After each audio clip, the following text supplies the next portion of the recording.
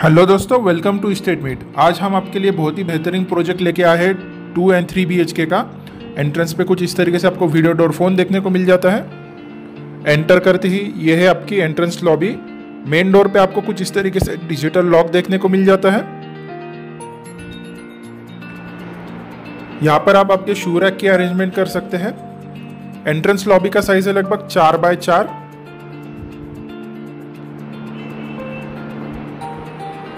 आगे बढ़ते ही दोस्तों, ये है आपका लिविंग प्लस डाइनिंग एरिया जिसका साइज़ है लगभग 17 फीट बाय सवा दस फीट इसका साइज़ है। आपके फर्नीचर की अरेंजमेंट यहाँ पर एकदम आसानी से हो जाती है।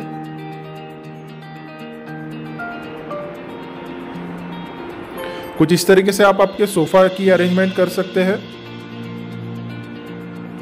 उसी के सामने आप आपका टीवी यूनिट लगा सकते हैं।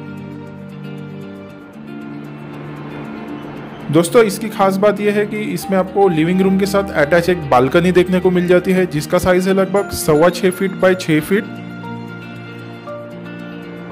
ये बालकनी है तो ऊपर से कवर्ड रहने वाली है।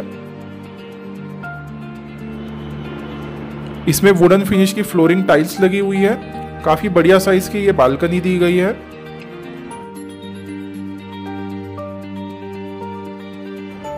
यहाँ पर डाइनिंग टेबल के लिए अरेंजमेंट करके रखी है। आप यहाँ पर आपका डाइनिंग टेबल सेटअप कर सकते हैं। आगे बढ़ते ही दोस्तों, ये है आपका किचन एरिया किचन एरिया भी काफ़ी बढ़िया साइज़ का दिया गया है। जिसमें आपको kitchen plus enclose dry balcony देखने को मिल जाती है। फुल लेंथ प्लेटफॉर्म है।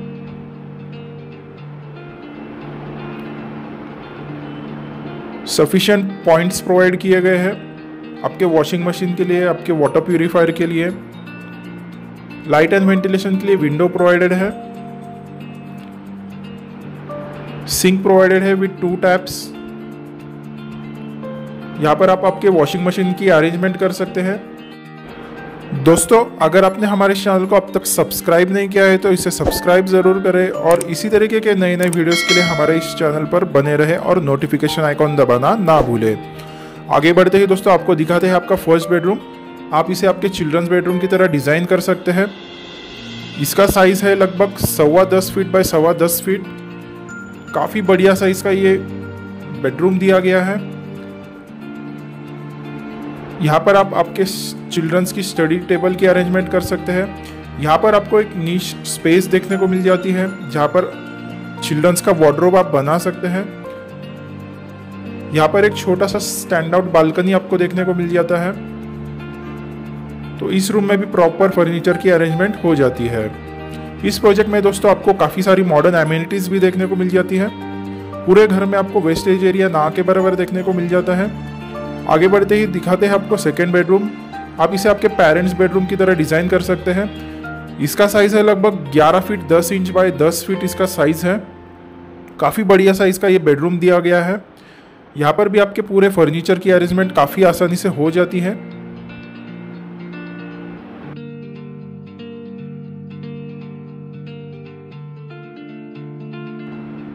यहाँ पर आप आपके वार्ड्रोब की अरेंजमेंट कर सकते हैं। इस फ्लैट की खास बात यह है कि ये रूम के साथ भी आपको अटैच एक बालकनी देखने को मिल जाती है। इसका साइज़ है लगभग तीन फीट बाय दस फीट इसका साइज़ है।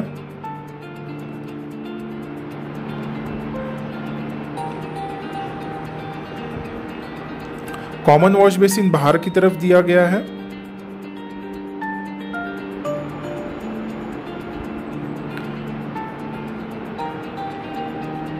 यह है आपका कॉमन वॉशरूम इसका साइज़ है लगभग छः फीट बाय साढ़े चार फीट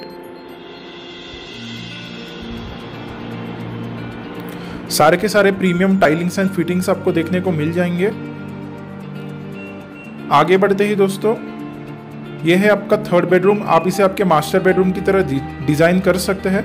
इसका साइज़ है लगभग 11 फीट बाय सवा दस फीट